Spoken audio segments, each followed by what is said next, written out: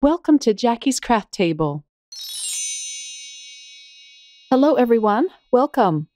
I hope you're all having a wonderful day. In this video, I'm creating chalkboard cards using Simon Says Stamps February card kit. Here is the featured stamp set. It's called Window Frames. You get this darling pack of sweetheart embellishments, as well as a little bottle of Nuvo water droplets. I'm going to pour these out in my dish here so you can get a better idea of what they look like.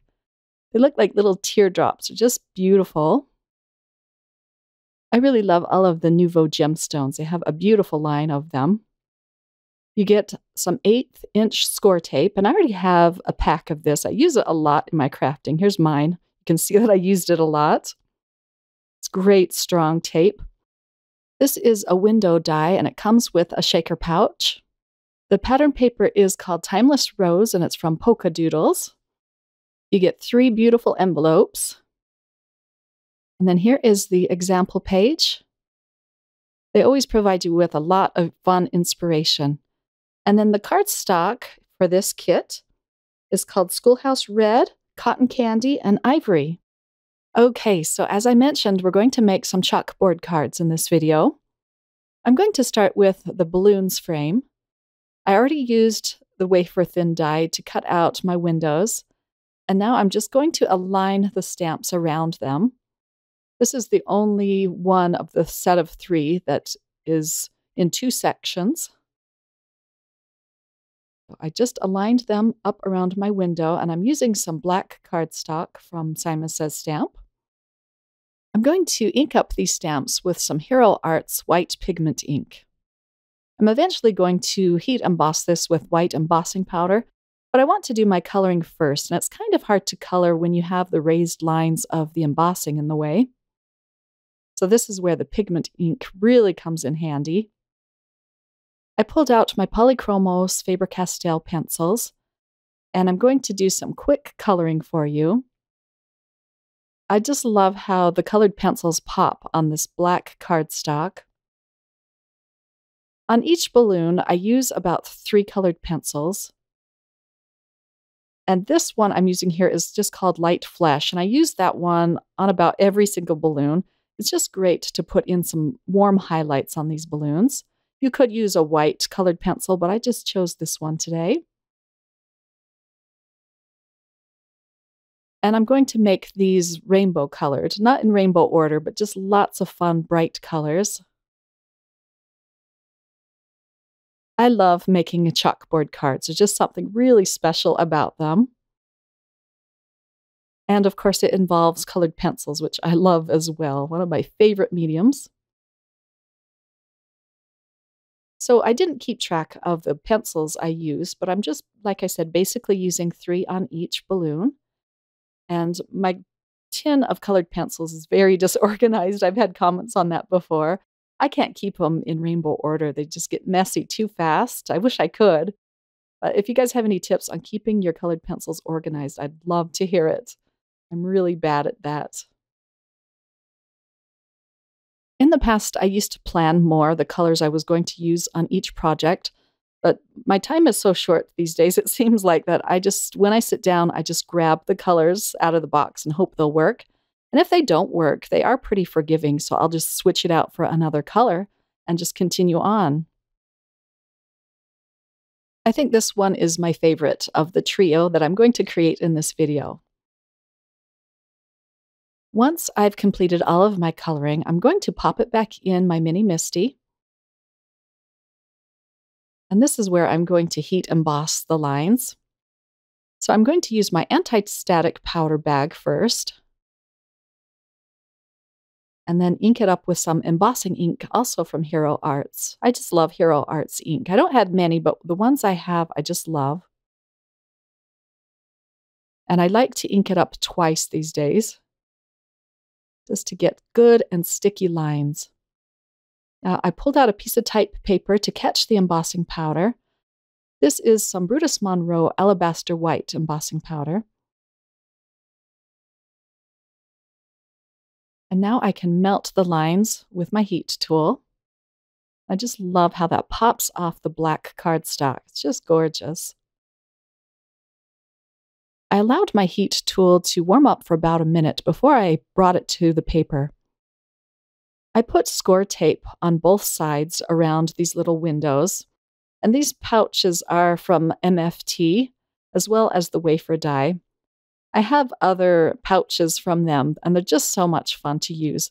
So I went ahead and bought a whole set of the pouches because this kit only came with one, and I know I'm going to be making a lot more. I pre stamped the sentiment that says Happy Birthday on a little piece of pink paper, and I'm just going to pick that up with the score tape. In the other two pouches, I'm going to pour in some chunky glitter.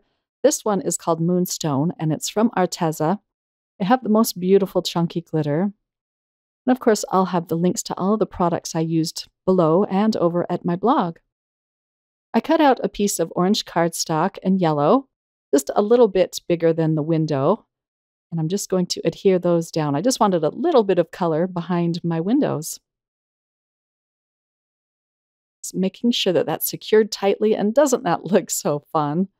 Now I can put my card together and I'm just using a little bit of black and white cardstock this is also from MFT, the stripes. And I'm using some dot liner to adhere everything down, except for this panel. Good save, huh? I used some of my Jackie's Craft Table glue to adhere this panel down. This is nice because it does give you a little bit of wiggle room. I'm terrible at putting things on straight. Here is where I kind of shift it about until it gets centered. And here is a close up look at my first card. If you haven't ever tried colored pencils on black cardstock, give it a try. I'm, I know you'll love it. For card number two, I'm going to use the Darling Heart frame. And I'm stamping that with more Hero Arts pigment ink. And of course, more black cardstock. And I'm going to color in these little hearts with reds, whites, and pinks. Here's the light flesh colored pencil again. It adds nice highlights onto these hearts as well.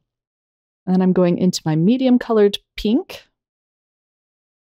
And then I'll add an even darker colored pink. I do go back and forth a little bit between these three pencils just to get a nice soft blend. And then I'm putting down a medium to hard pressure because I do want it to show up really well on this black cardstock. And I do multiple layers as well. And it's okay to go over the white lines because they're going to be hidden with the embossing powder. So it is best to actually go close as you can to the white lines.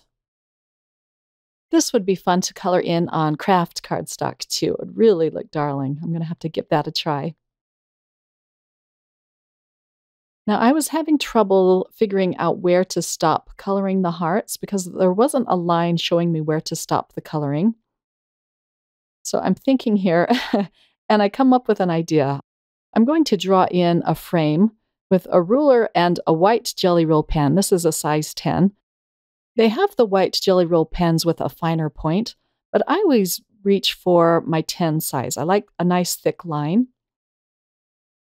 And I'm just carefully outlining this. And this adds a lot to this card, I think.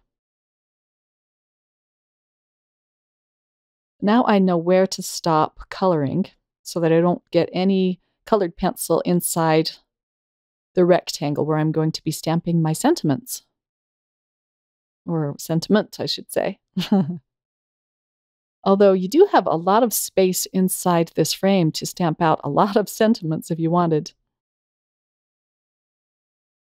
And now I'm coloring in some of the hearts with just white, and I'm pressing down medium hard. Lots of layers help, then you don't have to hurt your hands pressing down too hard. Sorry, my head gets in the way here.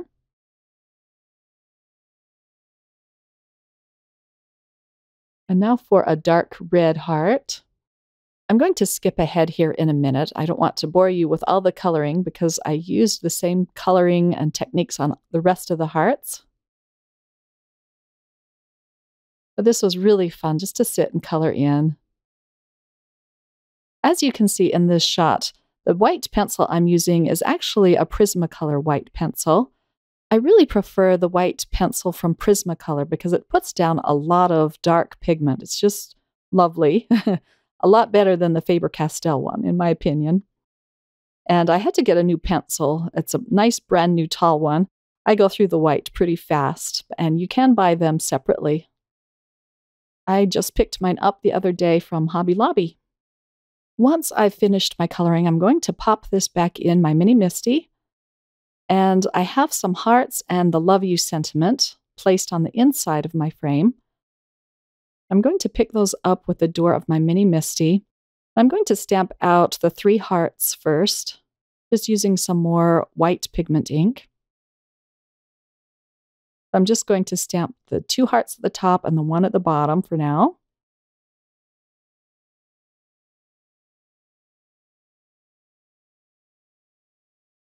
And I wanted to do this so that I could color them in before I emboss my lines.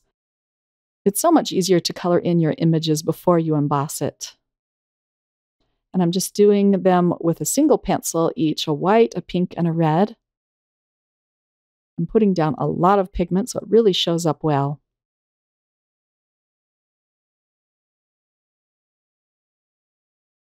Once my coloring is complete, I'm going to emboss the lines of this image. And I forget to use my anti-static powder bag this time. I'm I forget it a lot. But it's important to use because you can get stray embossing powder and it really shows up on the black cardstock. So I got pretty lucky. I didn't have many strays. I'll ink that up twice.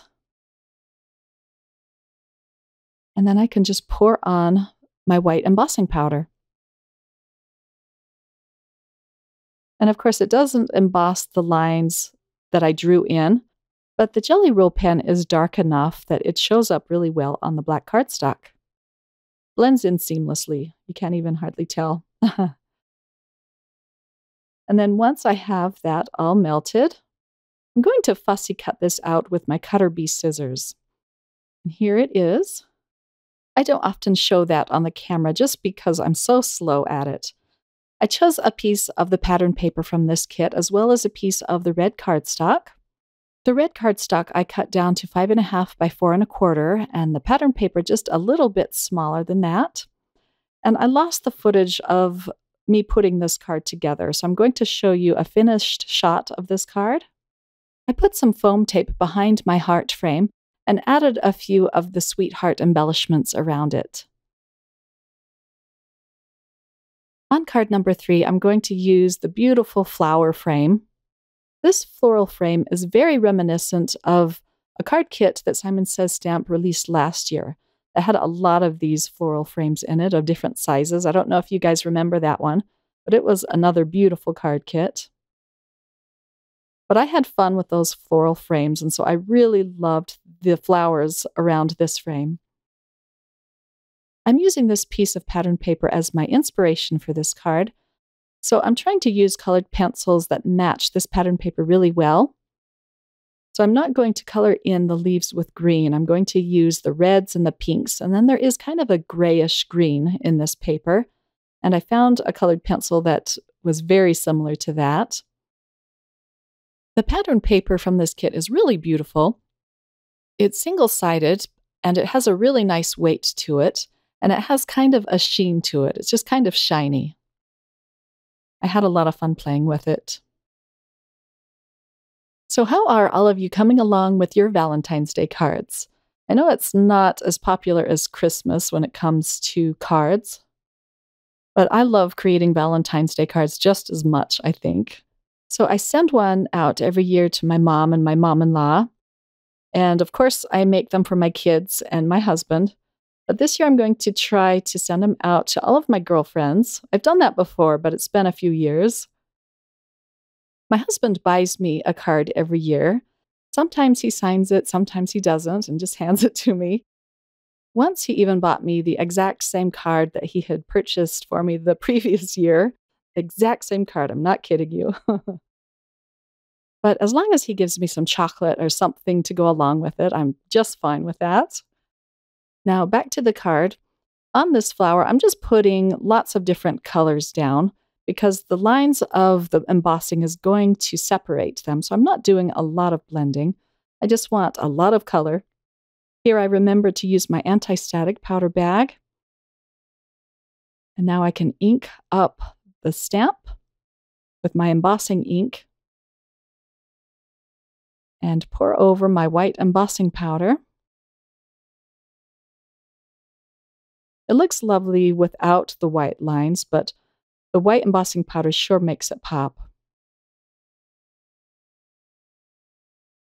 Now I can melt that powder. I'm being very careful, trying not to warp the card. This is going to be a thank you card. I love that they had lots of different sentiments from this stamp set. So you can use this set all year round. And I'm going to ink it up onto a piece of pink cardstock. This is my second try at inking this up or stamping this out. You'll see on the other side it says thank you, but it wasn't very dark. So I flipped it over and reused the paper. I'm using another shaker pouch window that I purchased separately, but of course you could just use acetate. You don't have to use these pouches, but I just love them. They're just so fast and convenient. Now I can pull off the release paper and I'm going to put my sentiment in the mid middle window. I'm just going to pick that up with the tape. Sorry, my head gets in the way again. Just want to make sure that's aligned. And then for the other two windows, I'm going to put in some pretty pink posh sequins. They're called Strawberry Burst. I just love these. And I end up using up the whole pack. I've had these for a while. Some of them get stuck to the score tape, but I can just gently pull those off and put them back in the window. I'm using some more pattern paper to seal up these last two windows. And then I can just trim off the excess.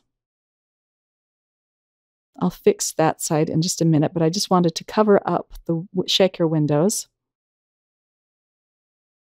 And then I can just trim that down to size. It's easier if you flip it over. I'll use some dot liner to put this card together.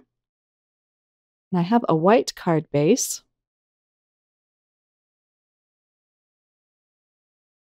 Next, I can add dot liner to the piece of red cardstock. Sometimes I use the dot liner and sometimes I use liquid adhesive. I guess either one works just fine. Do you guys have a preference of what you use on putting your cards together?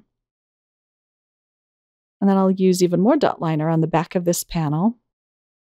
I see a lot of card crafters using the Mono Multi-Liquid Glue, and it is a great glue, but if it gets on your fingers, it is so tacky and it's really hard to get off.